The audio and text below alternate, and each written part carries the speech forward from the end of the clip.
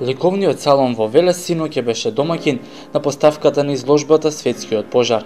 Поводот за истата е 100 годишнината од Првата светска војна, а неизине иницијатори и организатори се Институтот за култура при Меѓународниот Славјански универзитет Гаврило Државин и амбасадата на Руската Федерација во Република Македонија. Интересно за оваа изложба е тоа дека таа не представува хронолошки значи, приказ на текот на 4 годишната Прва светска војна, а ми представува повеќе емоционално доживување на учесниците во Првата светска војна.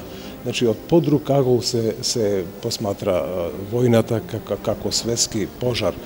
Иако минатиот век, знаеме дека светот доживува два огромни светски пожара, тоа е Првата и Втората светска војна, За нас е многу битна како македонци Првата светска војна, затоа што тука нели се случуваат и балканските војни, кога Македонија се распарчува и кога Македонија всушност учествува во Првата светска војна, но не како како самостоен учесник или како, како држава, туку македонците како учесници на од три држави кои што се практично распослани по целиот тек на фронтот во Првата светска војна.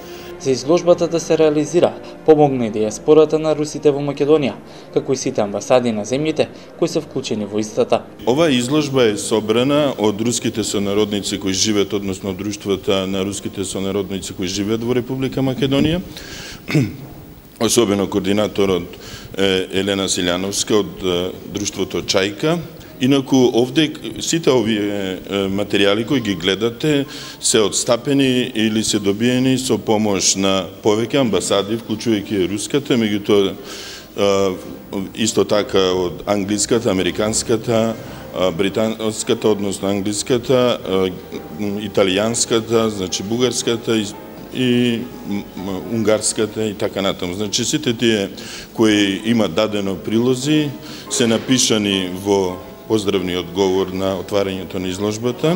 Својо обраќање на синокешната изложба имаше и представникот на амбасадата на Руската Федерација во Македонија, Алексеј Кривошеев, аташе за култура во амбасадата.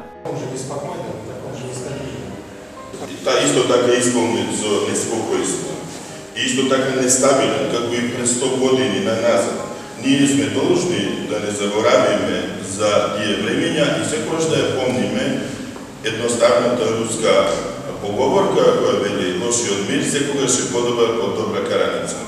Значи, наша должност е да ги помниме сите тие што се загинати, независно од која националност и од кое граѓанство се, односно кои се припадници на било која држава од тие кои се учествувале во војната, да ги научиме овие лекции од историјата и никогаш да не ги повторуваме грешките кои се состојат во губењето на, на животи на цели поколенија. Поставката на изложбата Светскиот пожар во Велес е втора поред после премиерната во Универзитетската библиотека во Скопје. Се очекува во текот на годината таа да посети поголем број на градови ширум Македонија.